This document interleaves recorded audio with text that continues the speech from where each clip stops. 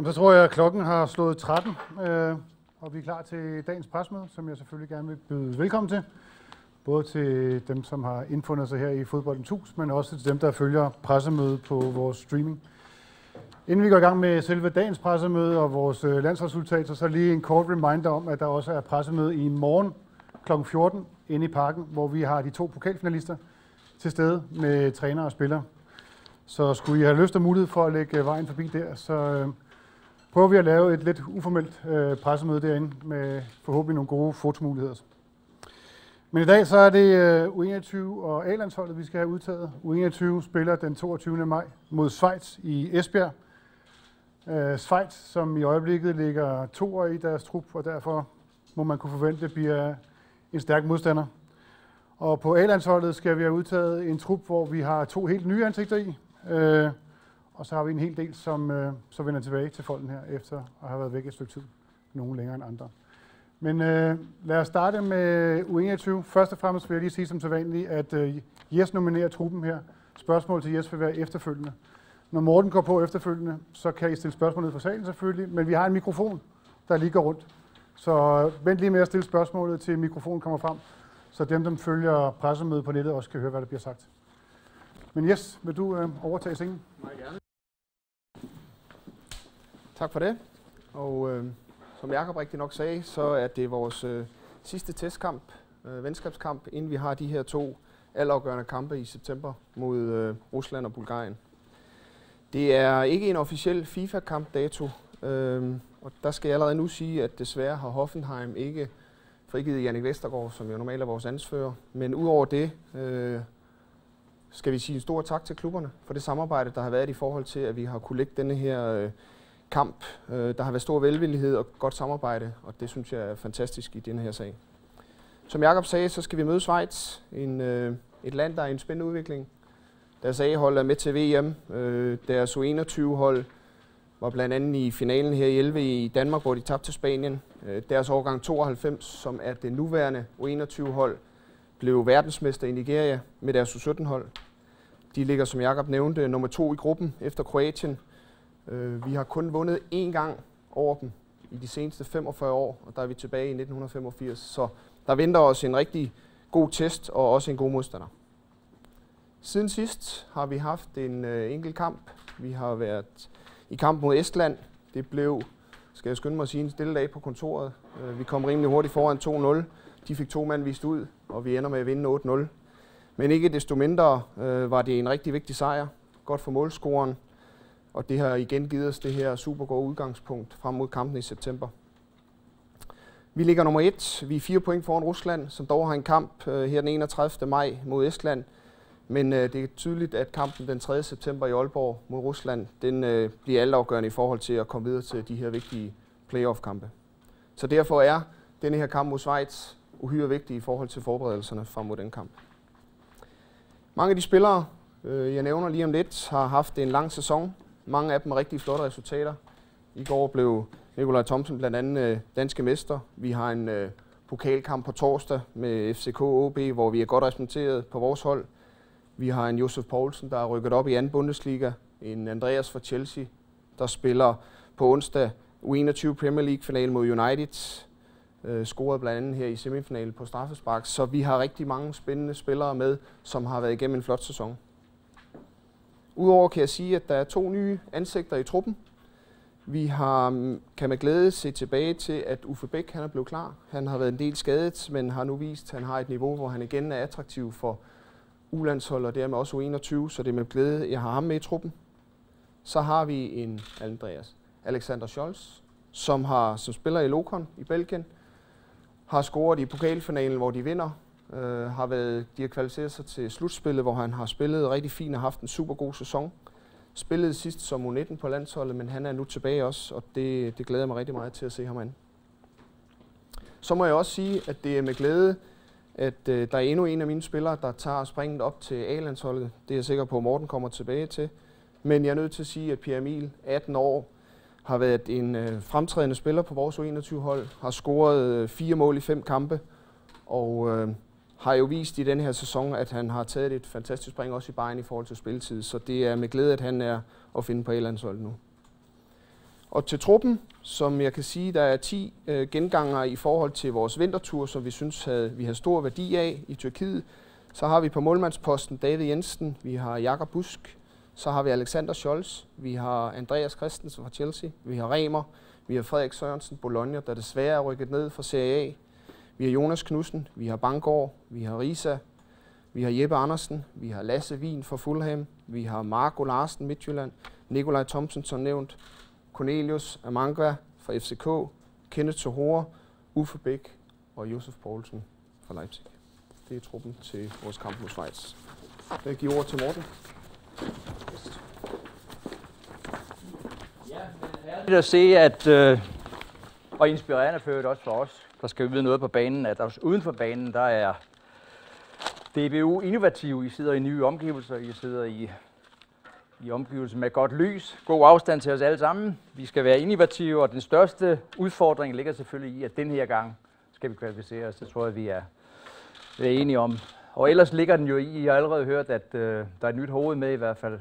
Øh, det er måske ikke så overraskende, men det kommer vi tilbage til lidt senere. Der er måske også nogle andre overraskelser, og øh, dem kan vi jo så diskutere bagefter. Men først og fremmest, ikke mindst, øh, Jes var lidt inde på det og relateret til nogle af sine spillere, men stort tillykke til OB, selvfølgelig med øh, et fortjent, øh, en god gang seværdig fodbold, og derfor endnu mere fortjent kollegaerne, fordi Ken Nielsens arbejde er selvfølgelig ikke kun en one-man-show. Det vil alle trænerne genkende til. Men de har lavet et fantastisk stykke arbejde deroppe, og det har været herligt at se, og jeg synes også, et hold, øh, jeg har den fornøjelse af også øh, en gang imellem at bo i et område, hvor der også er en turnering, vi kan sammenligne os med, om det nu er Belgien eller Holland.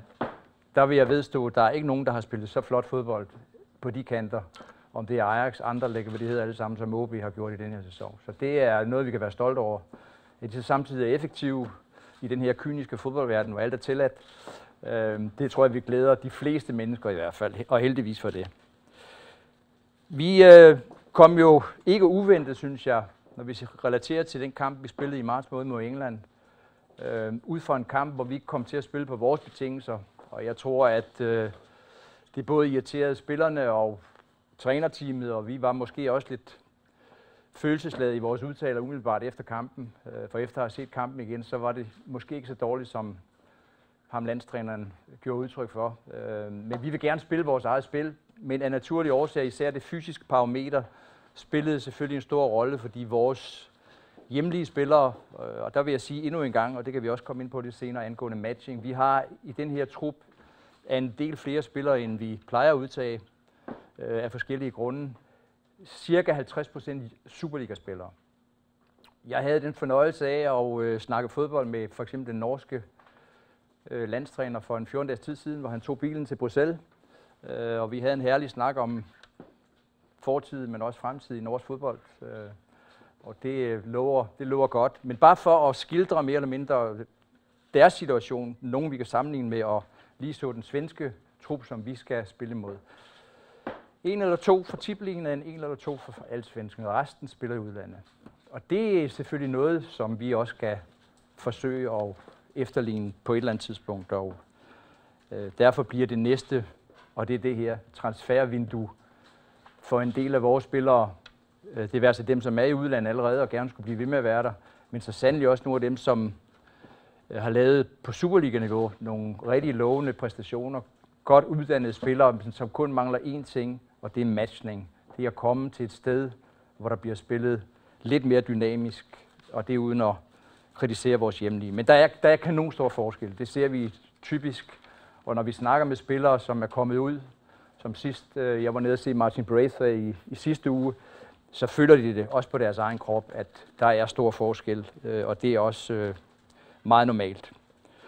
Men som sagt, øh, synes vi, at vi kom egentlig godt i kampen, kom igennem kampen i, øh, i England, øh, og øh, egentlig var også rimelig gode på bolden, og får jo tilspillet os de der to-tre store chancer, og vi snakker om store chancer. Øh, og øh, det irriterer os selvfølgelig, det havde sikkert ikke været fortjent, hvis vi havde vundet, men det irriterer os, at vi ikke får puttet en af dem ind i hvert fald. Det er det, der afgør fodboldkamp, og det var også noget af det, vi manglede i sidste øh, kvalifikation. Men det var da tydeligt for enhver, at, at, at, at Kasper Schmeichel spillede på et højt niveau, at vi havde et centerforsvar, Akker og Simon Kjær, som, som var strålende, især i det, i det defensive. Øhm, og at vi er øh, glade for, at øh, vi i hvert fald kan bruge William Kvist. Øh, han spillede også en stor rolle i sådan en kamp, hvor vi spillede meget kompakt ud fra en kontro- kontrolleret defensiv, kan man sige. Øh, og så er vi utrolig glade for, at vi igen har fået Jakob Poulsen tilbage, øh, fordi han medbringer de der utrolige løbe, vilje og løbemuligheder, både øh, med og uden bold. Øh, og så endnu en gang, øh, og det siger jeg også, fordi at jeg nød igen i går, og så i en helt anden rolle, en Kron Daly, øh, i en sekserrolle, øh, slå Real Madrid, så tog så meget mere konstruktivt selvfølgelig den rolle, han fik på, på Wembley, øh, så tog Kron Daly utrolig ansvar, som han har gjort de sidste to-tre år. Øh, så det var, det var fra hans side også en god præstation igen. Øh, vi står sådan her foran de øh, forhåbentlig ikke sidste testkampe, inden vi skal møde Armenien. Vi satser i øjeblikket på at få en testkamp. Den er ikke rigtig faldet på plads. Og det vil blive en hjemmekamp øh, 4-5 dage inden vi skal møde Armenien. Øh, for I ved alle sammen, den der augustkamp, som vi normalt har haft øh, igennem mange år, den er jo faldet væk. Øh, så derfor er de her to kampe mod Ungarn, øh, hvor vi øh, med græmsel og så alligevel med et smil øh, husker 0-0-kampen nede i Budapest, øh, som bliver afgørende for måske, at vi kvalificerer os øh, til, til VM. Øh, og så husker vi også, øh, og det skal vi også gøre os klart, vi tabte til Ungarn i den sidste kamp i den kvalifikation.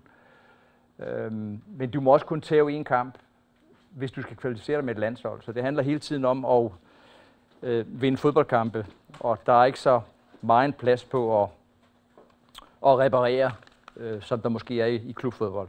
Så skal vi møde Sverige, og jeg kan ikke andet, øh, øh, da jeg øh, selvfølgelig også har lagt mærke til, at Paris Saint-Germain er blevet mester, og så er vi nødt til at hylde øh, Zlatan Ibrahimovic, synes jeg, fordi at øh, jeg så en statistik i går, og der faldt det mig ind, det var selvfølgelig ikke overraskende. Øh, han har spillet i øh, Ajax, han har spillet i Juventus, Inter Milan, han har spillet i AC Milan, han har spillet i Barcelona, og han har spillet i Paris Saint-Germain, og på 13 sæsoner er han blevet 11 gange mester. Jeg tror ikke, der har været en fodboldspiller i Norden, det er vi nødt til at indrømme, der har været mere suveræn. Og jeg tror også, vi må sige, at han er en komplet angrebsspiller. Han har haft den bedste sæson, det er også, hvad han siger, som 32-årig. Øh, jeg tror også, han er blevet mere voksen, både som menneske og fodboldspiller. I hvert fald er det, det vi ser, og, og han kan i scenen til spillet, og han kan, kan hvad hedder det, lave målene, Øh, og han har fysikken. Øhm, så et par stykker af dem vil klæde vores hold også selvfølgelig. Øhm, men, men han er utrolig vigtig øh, for Sverige, og det er jo også grunden til, at de den her gang nåede playoff, som jeg ser det i hvert fald, uden at mere eller mindre devaluere de andres indsats. Men den slags spillere afgør fodboldkampe, vinder mesterskaber, det er vist tydeligt for enhver. Så ham glæder vi os til os at se i parken. Øh, absolut. Vi udtager den her gang sådan en lidt, lidt større trup, øh, og det gør vi ud fra, at øh, som jeg sagde før, vi satser på at få en kamp i september, men ellers er det her de sidste to skud i bøssen. Øh, testkampe, som vi har inden det, den vigtige kamp øh, imod øh, Armenien. Øh, nu er det sådan, at når en sæson slutter, øh, så er der en hel masse parametre, som man også kigger på, når man udtager sådan en hold. Og der er blandt andet, og det har selvfølgelig især med unge spillere at gøre, Unge spillere, det er spillere, som du skal bruge, som vi ser det i hvert fald, når de er i form. Men de har en rigtig god form. Det kan være to, tre, fire, det kan være to måneder, hvad ved jeg. Men det er jo op og ned, øh, og det kan ikke være anderledes. De er i en udvikling, og vi skal bruge dem, når deres formbarometer er, er helt deroppe. Så, så der er spillere, vi selvfølgelig har set bort fra, fordi vi synes, at, at de ikke har været stabile her i foråret, blandt andet. Altså en Emil Larsen og en Kasper Slot, en, en Thomas Delaney, øh, en Nicky Bille, øh, en Cornelius, er spillere, som ikke er droppet, men de er droppet til den her gang. Øh, de, har, de har ikke formen umiddelbart, som, som vi ser det til, til A-landsholdsfodbold på nuværende tidspunkt. Men det er spillere, der har været en vigtig del øh, igennem de, de sidste par år. Så har vi nogle spillere, der har spillet for lidt. Ingen tvivl om det, som skal finde ståsted i stedet. Den ene, Niklas Binder, skal finde en ny klub, og Simling skal finde spilletid. Og det gør han måske i Mainz, som jo får en ny træner, det vil sige nye øjne. Det kan være en fordel selvfølgelig for de spillere, som, på det sidste har spillet øh, i mindre grad. Så er vi blevet enige om, at, at det her to er vigtige landskampe, men vigtigere er det at tage hensyn til individet, fodboldspilleren, og det kunne for eksempel være her Nikolaj Bøjlesen, som jeg har konfereret en del med Ajax, som ville have ham fri. Øhm, men da jeg så hørte samtidig at de skulle til Indonesien øh, og spille to kampe, øh, så sagde jeg, at vi skal kigge på spillere, men det skal I også. Det skal være et samlet, fordi vi er interesserede i at have vores spillere klar og fit til, øh, til september. Og Nikolaj, som øh, heldigvis har spillet mange kampe, men øh, er lidt slidt, øh, vil også starte op før alle andre Ajax-spillere. Øh, meget fornuftigt, øh, og har også sin øh, øh, svenske professor, som jo både har fat i Victor Fischer og Nikolaj Jørgensen, andre øh, af vores spillere. Øh, så han starter før de andre, og han skal have ferie. Han havde ikke ferie sidste år på grund af, at, at øh, han øh, kom tilbage igen efter en skade. Så heldigvis blev vi enige om det kompromis, at hvis Ajax gav spilleren fri, så gav vi ham også fri. Så det er det, der er sket øh, i, øh, i hans tilfælde. Så har vi et par spillere, som den ene har jeg nævnt, Victor Fischer og Leon Andresen. Øh, skal lige have skravet lidt af knæet, siger Leon, så er jeg klar igen. Han plejer jo at, øh, den der 6 million dollar mand efterhånden er blevet opereret nogle gange. Så, så øh, det er det, der sker selvfølgelig. Han har, han har gjort det fint, og han, jeg tror, han har tilspillet sig øh, et nyt sted at spille på, eller måske det samme sted. Der er stor interesse for ham, så det glæder os. Øh, en mand, der har kæmpet lang tid for at komme tilbage til det niveau, han har fundet. Men, men ærgerligt selvfølgelig, at vi ikke kan have ham med den her gang. Så er der spillere, som er på vej tilbage. Og der har jeg nævnt den ene, Nikolaj Jørgensen, som, som, som nu har spillet lidt for FCK. Øh, og så er der Sore selvfølgelig, som, som så ikke nåede at komme til at spille, og det var egentlig også det, tror jeg, som både klubben og, og, og vi har snakket med ham om, at det, det var et spørgsmål om at bare være klar til preseason, så øh, er han også et, et, et emne, det er der ingen tvivl om. Så er der Daniel Vass, som har spillet en stor sæson. I, øh, vi så ham i, i weekenden øh, i øh, Evian, øh, og højst sandsynligt også skifter, øh, grundet hans præstationer. Jamen, han er ikke med, fordi at vi på nogle positioner har den store konkurrence, og heldigvis for det. Så det er fra vores side simpelthen et, et valg på nuværende tidspunkt, men, men selvfølgelig ikke fravalg for, for evigt, men det er konkurrencespørgsmål. Og så har Jes jo et, øh, et lovende hold, øh, hvor vi har lånt, og det kan være, at vi napper ham, det ved jeg ikke. Men øh, der er et eller andet med i september, der spiller vi ikke samtidig, så det kan være, at du får lov til at låne ham, hvis han ellers gør det godt i den ene af kampene i hvert fald. Men Pierre Emil, øh, som øh, er kommet med, og der kunne nævnes mange, men heller ikke så mange. Øh, jeg synes for eksempel, at måske også, når vi snakker om mesterskabet, at mesterskabet også blev afgjort lidt på, at nøglespilleren, synes jeg, eller en af dem i hvert fald i Midtjylland, Svirchenko, blev skadet.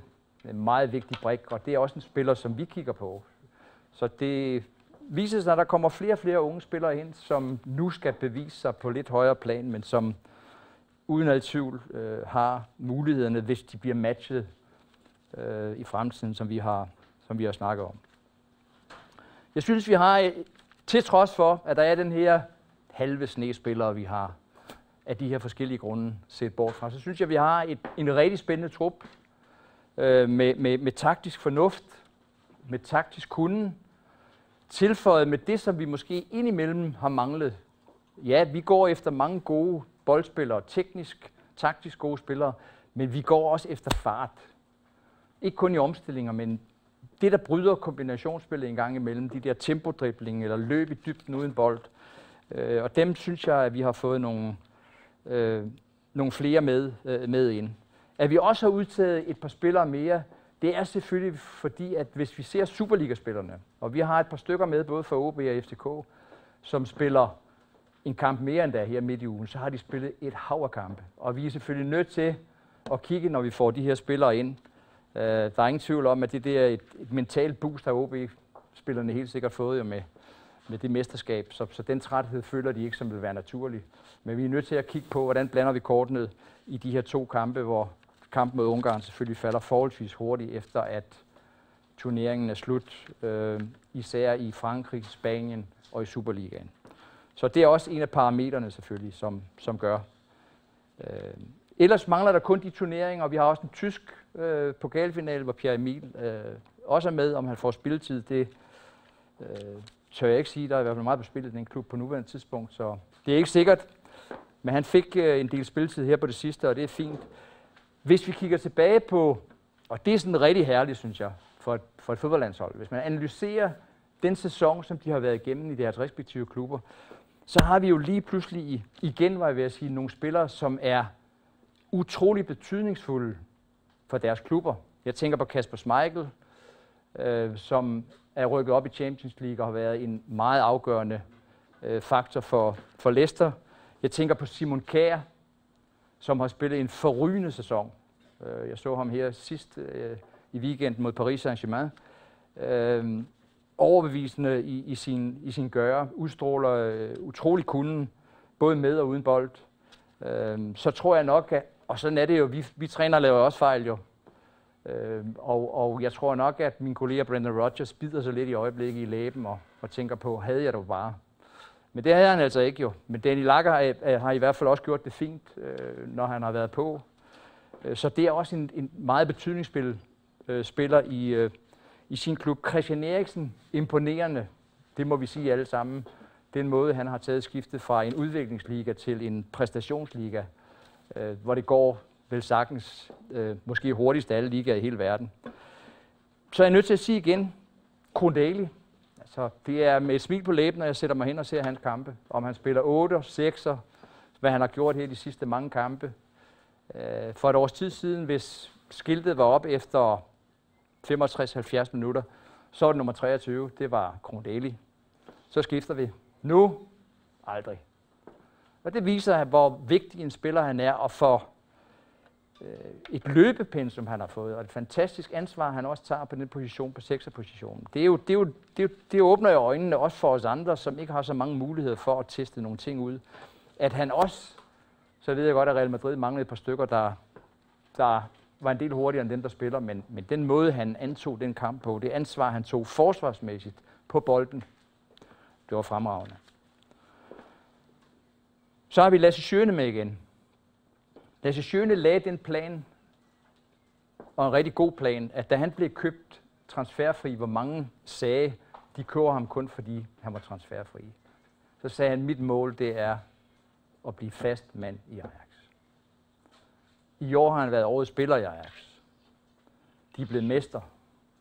Det viser også om fantastisk karakter, målrettet spiller, øh, som nu kommer i sin, sin bedste alder. Så også det er en god præstation. Og så vil jeg ikke nævne alle de gode præstationer, der har været af Superliga-spillere, øh, som har udviklet sig øh, rigtig godt i, øh, i år. Så vi har udtaget de der, og det kan godt være, der kommer en eller to, det vil jeg ikke lægge mig fast på, øh, her i løbet af, af midtugen eller, eller weekenden. Men vi har udtaget lidt flere spillere. Øh, vi har målmænd, har vi Jesper Hansen tilbage igen, som jo også har spillet hele tiden i Evian, som nu øh, skal ud i en gyser mod Sochaux, som simpelthen gælder nedrykning øh, her i weekenden, så de har nok at tænke på. Kasper Schmeichel, Stefan Andersen, som har gjort det rigtig godt i Go Ahead Eagles. Andreas Bjelland, Akker. Øh, der er kommet mange unge spillere ind, grundet mange forskellige faktorer. Jeg tror, alle øh, har skrevet og hørt og læst om OB's øh, fremragende kunden, Øh, nu har de, de unge spillere, som har fået chancen, har jo benyttet den i år jo. De har måske benyttet den tidligere, end man havde regnet med. Næste år bliver det sværere over for dem alle sammen. Det er, hvor de skal bekræfte det, de har gjort den her gang. Og det er altid det for de unge spillere, som er sværere. Men en, jeg forventer, som bliver bedre og bedre, og det er han i hvert fald blevet i den her sæson, det er Jakob Alman fra OB. Ham har vi med øh, for første gang.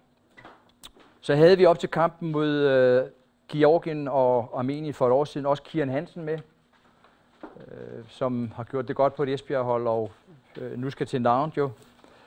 Øh, så er vi utrolig glade for, at Lars Jakobsen har sagt ja til at være øh, en af de lidt rutinerede øh, spillere, som de unge spillere kan læne sig op af. Øh, Peter Ankersen, som han går i konkurrence med, selvfølgelig. Simon Kær, øh, Simon Busk Poulsen, som har haft lidt problemer med sin lyske. Han har, hvor han ikke har spillet et år i Italien, lige pludselig spillet 16-17 kampe, både mesterskab og, og Euroleague øh, i træk, så han var lidt belastet, men, men umiddelbart har vi, har vi udtaget ham med, han har endnu en kamp, en playoff øh, her i, i løbet af ugen. Christian Eriksen, Jakob Ankersen, Jakob Poulsen, Kasper Kusk, Sjøne, Pierre Emil Højbjerg, Rasmus Wirtz, som vil sagtens, jeg vil ikke sige er hemmeligheden, men i hvert fald en af de helt store bag det mesterskab i Aalborg. Øhm, Thomas Kallenberg, William Quist, Martin Braithwaite, Michael Krondaly og Morten Duncan. Så har vi lavet den aftale med, øh, med Yes, at øh, Nikolaj Thomsen spiller kampen på 21, og øh, Jes bringer ham så efter kampen op i, i træningslejren efter kampen, øh, vi, vi har spillet i Ungarn. Og han bliver indlemmet i den trup op til kampen mod, mod Sverige. Så det var det. Tak, Morten. Er der nogen, der har spørgsmål til Morten, inden han giver sig i kast med en ting interview? Andreas? Lige her mikrofon. Ja, Morten, øh, nu har du nævnt rigtig, rigtig mange navne indtil videre her, men øh, vores øh, kommende kollega på DR, Niklas Bentner, hvor, øh, hvad har overvejelserne været omkring øh, ham her, øh, inden de her kampe her, der kunne være for imod, kan man sige? Jamen, det vil der altid være. Det vil der altid være. Men det kan man sige, det er det ansvar. Altså, vi, vi, vi så også hans problematik, da vi så kampen øh, på Wembley, øh, og der stod det fast for os alle sammen, at, at hvis han ikke fik spilletid øh, i mellemtiden, og han har været en del skadet, og han har ikke trænet i samme grund, øh, så skal han ikke med. Altså, jeg vil se, hvis Niklas Bentner øh, skal tilbage på landsholdet, og det er op til ham selv, og det går ud fra, at jeg ved, at han, han meget gerne vil, så skal han finde en klub, og så skal han spille, og det er også det, han arbejder på i øjeblikket. Og så skal han være fit, som han var under EM. Øhm, så, så, så længere er den ikke. Han er ikke, han er ikke A-landsholds klar på nuværende tidspunkt. Andre spørgsmål? Yes. Ja. Han, øh, han har ikke spillet de sidste øh, fem kampe for, for Mainz. Nu øh, skal de have nye træner og sådan noget. Har du rådgivet ham til, at han skal skifte klub, eller i forhold til... Nej, det eneste, jeg har sagt til ham, det er, og det kunne man også se på Wembley, at Niklas, eller hvad hedder det, Nicky Simling er også en spiller, som skal spille for at kunne spille det, han gjorde i efteråret 2011, som var med til at kvalificere os, for vi havde det gode tandbindpar med, med, med William Kvist. Og det her efterår øh, og, og, og under EM, hvor han var en vigtig brik. Hvis han mangler den rytme, så, så, så handler han for sent, så kommer han for sent, så er han ikke præcis i sin, i sin aflevering. Så han mangler, han mangler, han mangler at, at, at blive matchet i kampene. Det er fint nok at træne, men, men og han har i den grad ikke været skadet så meget, som han måske nogle gange har været. Vi husker, at han var ikke med det første halve år øh, i, i sidste kvalifikation, men kom tilbage igen. Men han skal spille. Han skal spille. Lige et tillægsspørgsmål, Morten. Du har, du har til synligheden kun én spids med, uh, Duncan. Jeg ved ikke, om du ser Braithwaite. Og Martin Braithwaite ser vi også som spids. Ja. ser I også som En anden type, ja. Er ja. det nok uh, med de to? Jo, men altså, vi kan jo ikke trylle jo. Altså, Der er vel Simon Mackie nok også. Jo, men jeg siger også, det er muligt, at vi øh, inkluderer. Det kunne jo være en angrebsspiller øh, i midten af ugen eller weekend. Det må vi spekulere, spekulere på, øh, hvordan og hvorledes det ser ud. Morten, hvad er det, du har set øh, hos øh, Pierre Emil, som gør, at du i modsætning til Englandskampen gerne vil have med den her gang?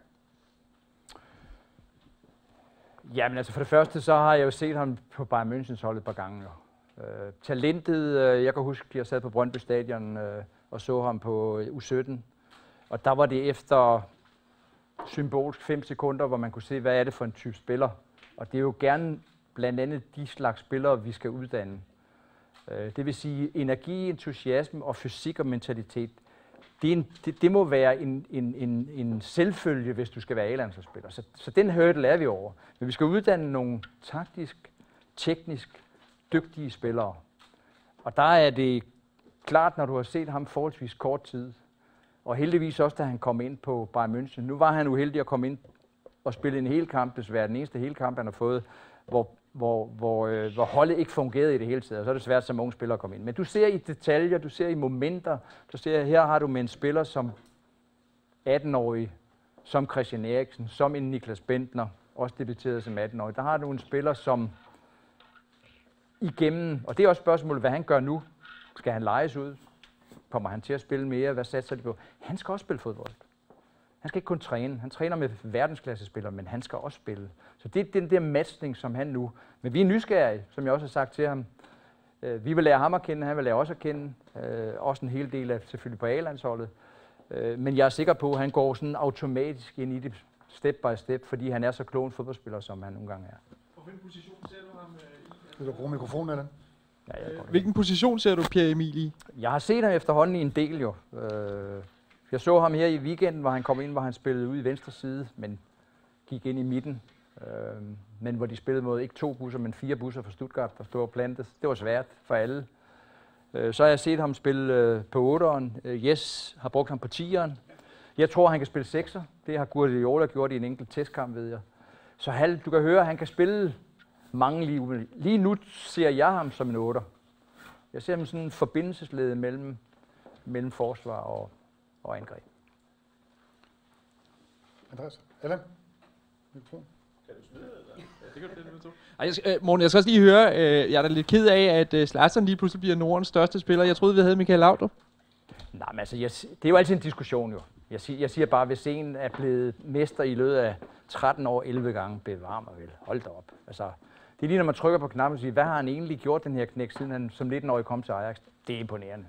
Det tror jeg alle sammen, vi må indrømme. Nu snakker vi positioner med Pierre Emil. Vi kan godt fortsætte lidt. Øh, Lasse Schøne har jo også igennem ja, både nogle de seneste år, men i hele karrieren spillet rigtig mange positioner. Hvor tror du, du vil bruge ham på øh, landsholdet? I øjeblikket, som det Øh, højre side. Højre side eller falsk nier. Det har han også spillet i Ajax. Og det, det der kommer den sjove diskussion ind. Øh, hvis jeg angiver, at til højre position til de her to kampe, der har vi tre spillere. Det er Sjøne, Kasper Kusk og Jakob Anker. Så er det jo det, der afgør, hvordan man spiller fodbold. Det er tre, kan vi hurtigt blive enige om, vidt forskellige fodboldspillere. Den ene er måske mit, mere midtbanespiller Jakob Ankersen, hvor en Lasse Sjøne er en ikke hurtig spiller, det vil sige en spiller, der skal iscenesætte andre. Kasper Kut er en målfarlig spiller, der kan udfordre og iscenesætte andre. Og så er det op til os, sammen med de andre, at bruge, hvem er det, der spiller ved siden af, bagved og foran osv., om hvem er det, vi egentlig vi møder. Det er jo det, er jo, det, er jo det et landshold handler om, eller på sin vis et klubhold også. Så, så det er tre vidt forskellige spillere, øh, som, som vi skal have med at gøre. Og det er vores valg så at bruge dem. Forhåbentlig rigtigt. Flere spørgsmål? Det lader ikke til at være tilfældet. Jamen, så vil jeg tak for den her del af seancen i hvert fald, og Morten kan gå Yes. med at tage interview med DR TV2 i hvert fald. Så skal jeg tage den her lyd.